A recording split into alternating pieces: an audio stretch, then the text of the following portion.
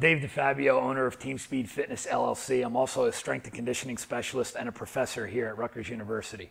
Today we're going to show you exercises for increasing size of the gluteal group and the muscles around your hips. And since we're talking about muscle hypertrophy, gains in muscle size, what we're about to show you are compound exercises, multi-joint exercises. Why are we going to use those kind of exercises? Because those exercises allow you to lift more weight. And we're going to use exercises that challenge the pelvic region. All right. So what you're about to see, you would typically do three sets of each exercise. We're going to show you four exercises. So that's 12 sets just for one particular region of the body. That's a decently high volume of exercise, and that's part of what you want. So the first exercise that Nick is going to demo here is just a standard deadlift. Okay, his feet are about shoulder width apart, his hands just outside of his shins, overhand grip on the bar, and he's just going to stand up. You're driving your heels down into the ground so that the floor actually pushes back, back up at you so that you can pull the weight off the ground. So that you can pull the weight off the ground, you're actually pushing your heels down into the ground. And at the top of the range of motion, Nick pushes his hips into the bar. Go ahead, do a couple more reps, Nick. And he pulls those shoulders back. So he's standing up nice and tall, sticking his chest out on a deadlift. Again, about 8 to 12 repetitions, three sets. Okay, thanks, Nick. Another exercise that we could do is a front squat.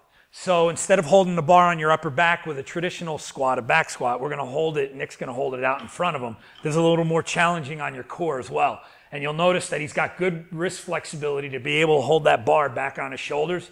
His elbows are up so that his arms are parallel to the floor, and he's going to squat. And as he squats down, he's making sure that his elbows stay up so that his elbows don't touch his knees.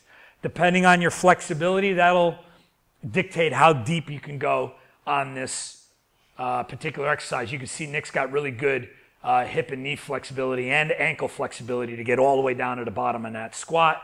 And his feet again, shoulder width apart, turned out slightly. Same thing with his knees, they kind of flare out a little bit. And that's the front squat. So three sets, eight to 12 repetitions. Then the next thing that Nick could do are step ups. For step ups, you'll need either a bench um, or a step that's about knee height, maybe a little bit below knee height, mid shin height.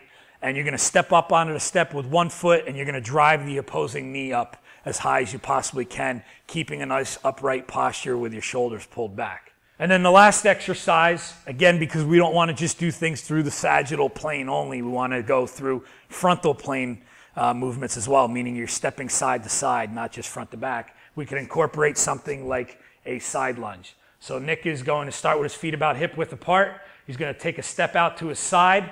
When that foot hits the ground, his hip pushes back so that it looks like one leg's doing a squat while the opposing leg um, straightens out. And as Nick steps out and lunges down, he can reach that medicine ball down towards his knee. So now you have four different exercises that you can incorporate into your resistance training routine to specifically target uh, the glutes.